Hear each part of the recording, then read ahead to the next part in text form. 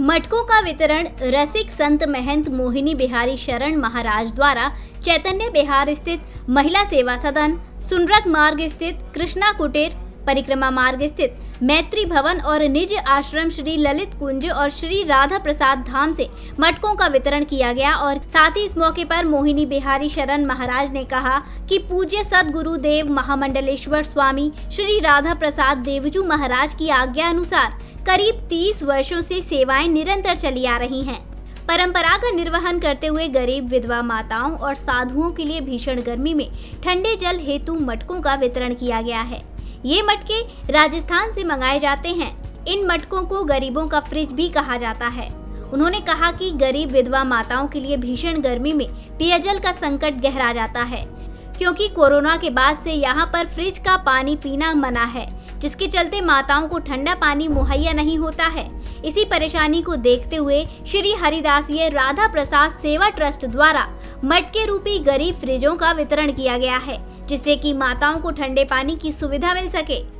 इस भीषण गर्मी में जो तपन आज जला रही है, उस समय ये माताओं की हम लोग जब दर्शन करने आए तो देखा तो यहाँ माताओं के लिए कोई ऐसी व्यवस्था नहीं दिखी, जो कि उनके पास ठंडे पानी व्यवस्था हो।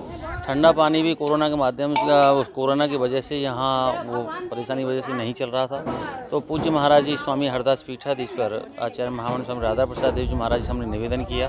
तो उन्होंने हर साल की भांति अब के भी उनके लिए जो गरीब फ्रिज बोला जाता है जो मटका है, वो यहाँ से नहीं, वो राजस्थान की मटकी से मंगाया जाता है। स्पेशल ये मटका होता है। आज यहाँ माताओं की सेवा करने का हम लोगों को सौभाग्य प्राप्त हुआ। मानव सेवा प्रकल्प के अध्यक्ष हमारे साथ चंदन सिंह बैची हैं, जो हंड्रेड, जो अपनी उत्तर प्रदेश हंड्रेड जो गाड़ी है, जो चल रही हैं, जो समाज की सेवा के लिए, वो हमारे मुकेश चंद जी और हमारे दादाजी उन्हें जो नित्य बंदरों की सेवा है, मानव सेवा में हमेशा संकल्पित हैं। तो समाज की हर हर कार्य में आपका सहयोग रहता है। ऐसे हमारे साथ मुकेश चंद जी भी हैं। और बहुत ही सुंदर माताओं की सेवा करके हमें बहुत आनंदित हो रहा है। कितने और मटके वितरित किए गए महाराज जी? आज मटके हम लोगों ने यहाँ साढ़े करीब साढ़े चार सौ करीब मटके हम लोगों ने वितरण किए हैं। हमारा संकल्प है जितनी भी विधवा आश्रम है सेवा सदन है गरीब हैं निर्धन हैं आश्रमधारी हैं वहाँ तक हम लोग इन मटकाओं को यहाँ पहुँचाएँ जिससे कि राहत मिल सके। और हम लोगों ने गौरैया के लिए भी, पक्षियों के लिए भी छोटे छोटे पात्र भी मंगवाए हैं।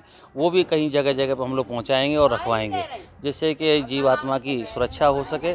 और महाराज जी कहते हैं, जीवात्मा की सेवा ही सच्ची, परमात्मा की सेवा है। मैं आपके चैनल के माध्यम से कहना चाहता हूँ, जिस क्षेत्र में आप रह रहे हैं, वहाँ आप शीघ्र ही चाहे एक मटका हो, चाहे दो मटका हो, गरीबों तक आप पहुँचाएँ, जिससे उन्हें राहत मिल सके।